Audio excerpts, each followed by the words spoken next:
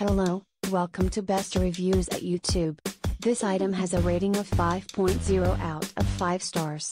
A customer wrote, does the job of softening skin and relieving dryness. But it is light and does not clog pores. 5 stars. Dot dot. Thank you for watching.